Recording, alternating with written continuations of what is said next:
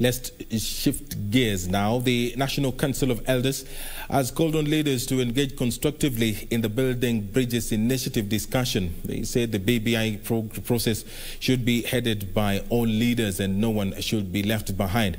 Headed by its patron, Captain Kungu Muigai, and the chairperson, Faris Rutere. The council, which met the Deputy President William Ruto at his current residence, urged for the reggae bravado in the BBI debate to be stopped. The elders also held talks with Amani National Congress leader Musalia Mudavadi. The deputy president who had hosted the elders urged them to take the lead in preaching unity and moderate on politics to be less confrontational but more issue based. Mtu aje aseme maneno yake, Wakenya watasikiza na watasema huyu ametoa point, huyu ametoa point. Lakini hiyo ya kukibia kibia na maroli hakuna point unatoa, na hiyo tukiwa wazee tutakataa. Tunataka watu waongee na waongee pamoja. Wewe simama imara, sisi wewe ni mtoto yetu. Kama wewe natembea, wacha chuki. Hata kama wewe nasikia kitu namna gani, wewe endelea na ya na yako.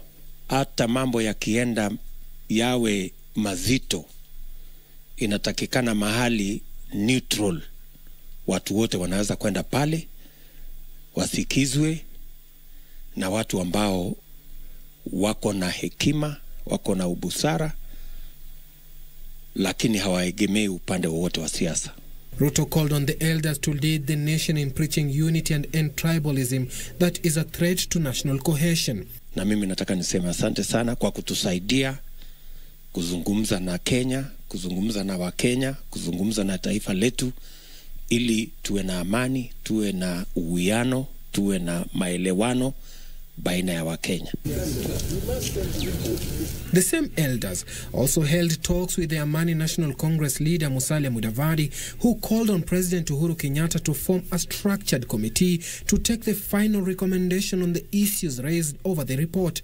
Yeye mwenyewe kama rais anaweza teua small one, uh, warekebishe, wamalize, wapige msasa pahali kuna kuna mambo kidogo, alafu by the time we are entering next year, tukikaribia hiyo mambo ya referendum, hizi vitu zote zimefanya nini?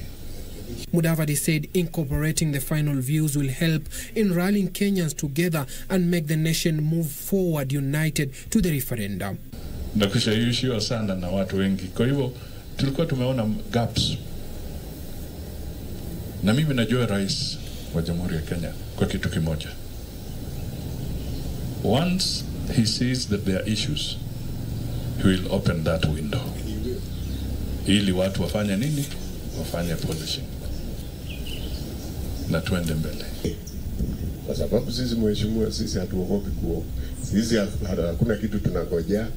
Kuna mzee anatafuta kazi hapa, kuna sisi tutangojea tu hiyo safari ya kwenda huko. Kwa hivyo tukiona mtu anaharibu, tukiona mtu anafanya makosa, tunamwambia. Suleiman Yeri, Channel One News.